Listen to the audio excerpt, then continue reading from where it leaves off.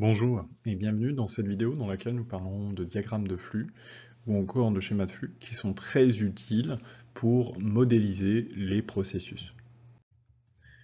Notre objectif dans cette vidéo, en termes de compétences, c'est qu'à la fin, vous soyez capable de représenter un processus sous forme de schéma de flux. Donc pour ça, vous devez maîtriser les principaux concepts que l'on peut retrouver dans un schéma de flux, le domaine d'étude, les acteurs, le flux, et nous parlons du modèle de contexte, qu'on appelle aussi MCC. Donc voici un exemple de diagramme de flux, euh, avec donc plusieurs flux d'informations, plusieurs acteurs. On voit qu'il y a un formalisme un peu particulier. Le formalisme que je vais vous présenter dans cette vidéo, et le formalisme qui m'est propre, il y a différents formalismes possibles, et vous verrez qu'il y a deux, trois points sur lesquels vous pouvez trouver des différences lorsque vous farfouillez sur Internet. Commencer, nous allons donc nous concentrer sur ce gros rectangle qui s'appelle le domaine étudié. Le domaine d'étude, la définition que vous voyez en, en gras, c'est un sous-ensemble qui est cohérent du système opérant qui va regrouper plusieurs activités qui combinent les ressources pour atteindre une même finalité. Alors derrière cette euh, définition purement théorique, ce qu'il faut comprendre, c'est que lorsque vous allez modéliser les processus d'une organisation, vous allez vous concentrer sur une partie du système opérant. C'est généralement ça peut être l'activité de vente, de recrutement, de stock, de gestion de la logistique. Comment on va identifier cette partie? Le but c'est de repérer quelque chose, vous voyez, c'est ce qui est en jaune, qui va être cohérent. Donc c'est-à-dire c'est plusieurs activités qui vont travailler avec les mêmes ressources et qui ont la même finalité. Donc c'est vraiment ce que intellectuellement on va garder en tête. Il faut comprendre donc on va faire un schéma de flux par domaine d'étude et chaque schéma de flux va chercher à étudier les flux qu'a ce domaine étudié avec les autres acteurs qu'on va retrouver dans l'organisation. Donc notre but c'est vraiment de comprendre la circulation de l'information dans le cadre de ce processus.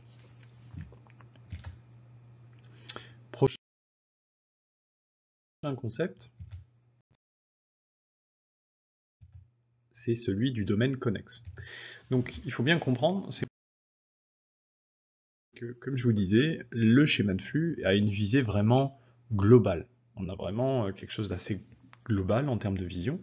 Donc on va choisir de se concentrer sur un domaine de l'entreprise, les autres domaines seront représentés également sous forme de rectangle, et on parlera de domaine connexe. Donc ça va, ça va dépendre encore une fois de l'entreprise que vous analysez. Parfois, il peut y avoir plusieurs domaines connexes, parfois, il n'y en a pas forcément quand on est sur des petites entreprises. En tout cas, pour indiquer à la personne qui va lire votre processus qu'il s'agit d'un domaine connexe, c'est-à-dire qui appartient à l'entreprise, mais qui n'est pas le domaine que l'on a choisi d'étudier, on le représentera également sous forme de rectangle, mais vous voyez de taille très inférieure.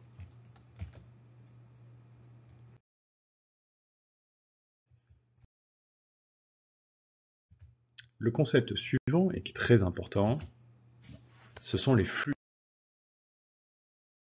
d'informations. Alors les flux d'informations, c'est simple, hein, ça s'appelle un schéma de flux. Notre but, comme je vous disais en préambule, c'est de comprendre la circulation de l'information dans l'entreprise. Alors j'insiste vraiment, c'est la circulation de l'information. En théorie, on ne doit pas faire apparaître tout ce qui est flux de matières premières, financiers, euh, ressources humaines. On le fera apparaître si ça a un sens en termes d'information. Donc d'accord, le regard qu'il faut vraiment avoir lorsque vous dépiotez un texte, c'est de rechercher de manière prioritaire les informations. Un indice, c'est souvent qu'une information, ça a un émetteur et un récepteur. Et enfin, il y a trois caractéristiques, trois propriétés un flux.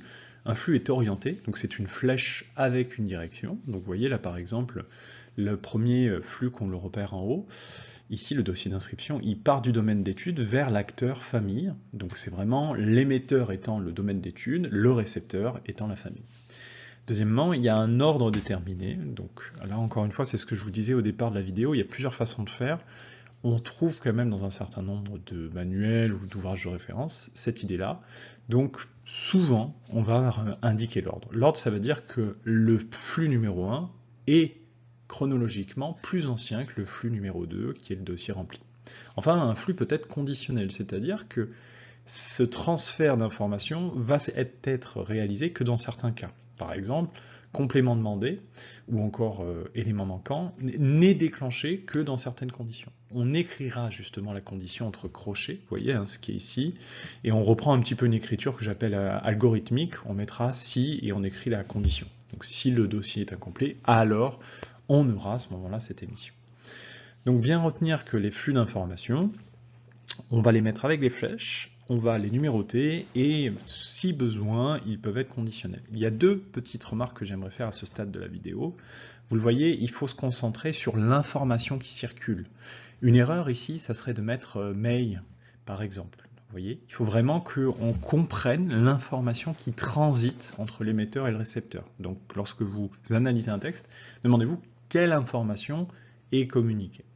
Deuxième point important, c'est que moi, mes noms de flux, vous voyez, sont très courts, sont très synthétiques. Il faut éviter au maximum les verbes, c'est pas bon signe, c'est que vous n'êtes pas dans la bonne analyse. Et deux, il faut que ça soit très synthétique. Enfin, il ne reste plus qu'une seule chose à voir.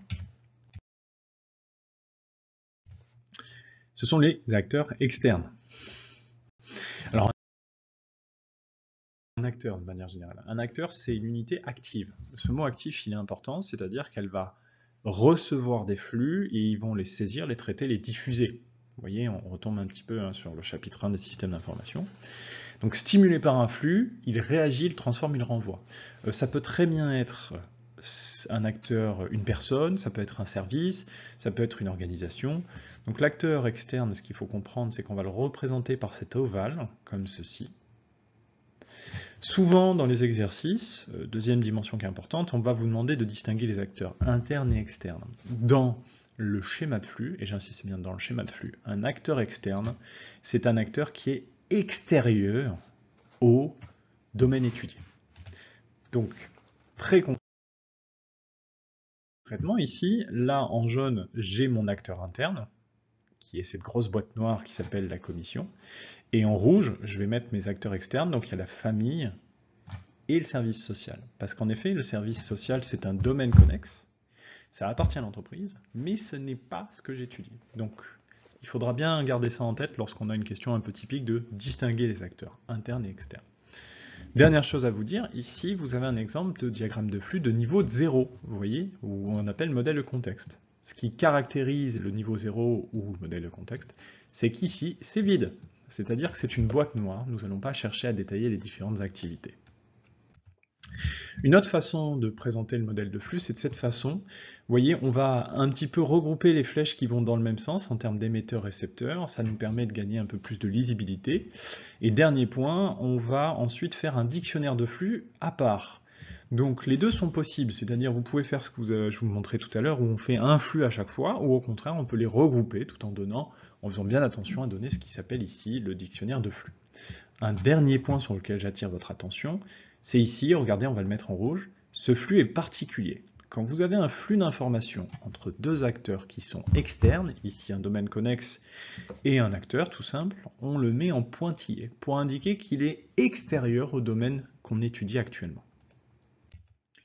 Et voilà, pour terminer, je voulais vous montrer, un, même si ce sont un cas différent, hein, un schéma de flux que j'appelle aussi euh, MCF, un hein, modèle concept le flux de niveau 1 avec des activités. Donc des activités, c'est simplement des tâches qui sont réalisées à l'intérieur du domaine d'études, dont on pense toujours à mettre le nom là-haut. Hein.